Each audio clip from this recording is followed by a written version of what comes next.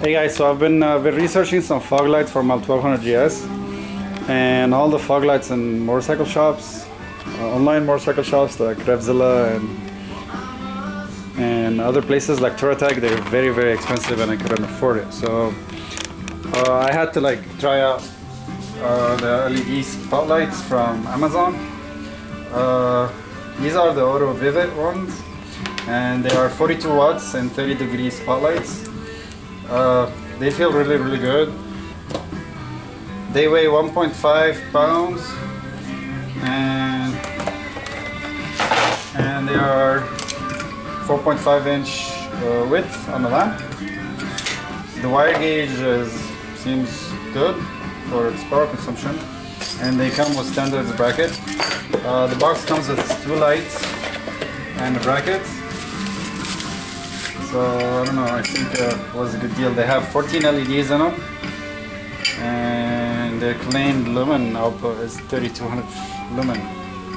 So I'm gonna try to measure that also as well when I'm done. Uh, so so since I'm improvising with these things, I had to find brackets to fit them. And I found these also on Amazon. They're really, really good brackets. Uh, there's like a million way to install it. There's many varieties. Basically, this one goes around this piece and you can adjust it however you want. And you can also change this angle to be like this angle.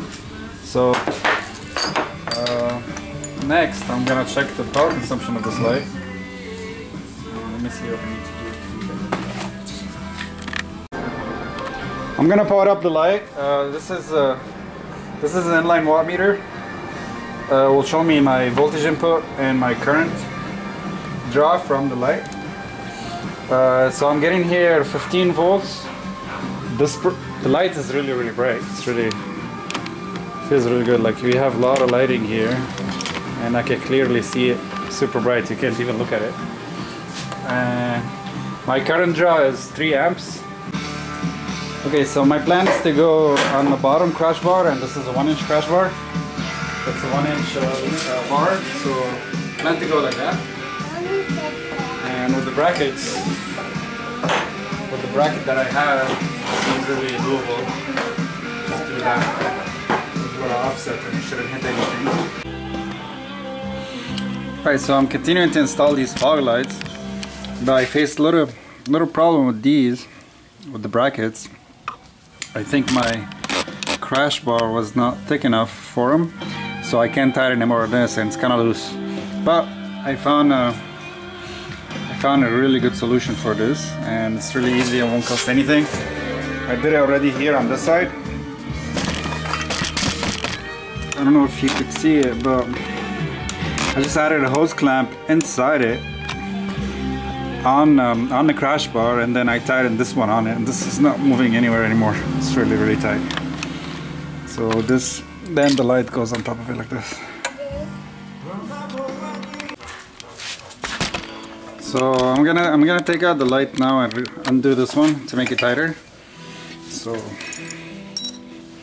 then I'll show you what I did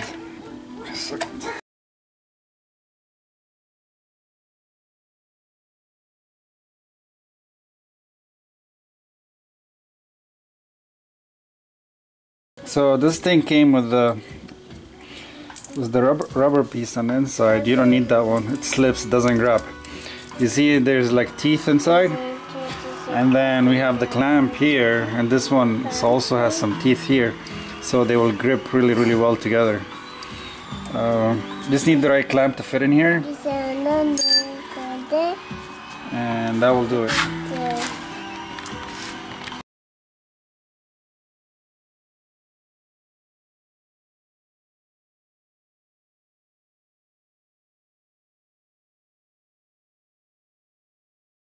And then the nut on top.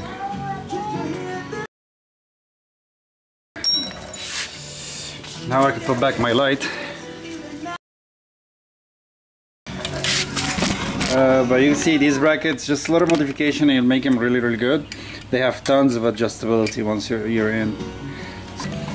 You can see the hose clamp inside, the other clamp, clamp on the back, hose clamp inside, and then the light. And today I routed my electrical. I just made the harness at home. These are just speaker wires. I figured it's only pulling 3 amps, so I think it will work out. On this side also. And then I made, I added the switch, 7 bucks from Amazon. Uh, I don't want to mess with the OEM uh, circuitry, so I'm making my own circuit straight to the battery and a fuse. So this is going straight to here. I'm gonna hook it up to the battery and I'm gonna put a fuse. Uh, yeah, this is coming on really, really nicely. So this is the final.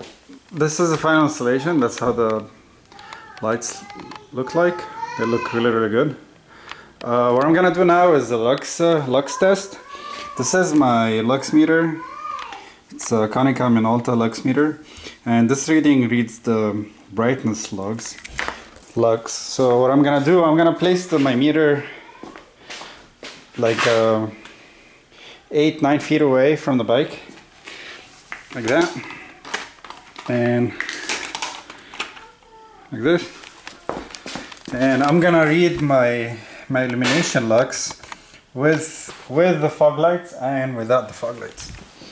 Uh, so my my lux illumination without the fog lights is 120 lux. Now I'm gonna turn on the the fog lights. That's uh, that's how it looks like turned on. It's really really bright and my lux went up to 950 lux. I'm really really happy with the results. So I have a lot of brightness in front of me now and and they look really nice. Right.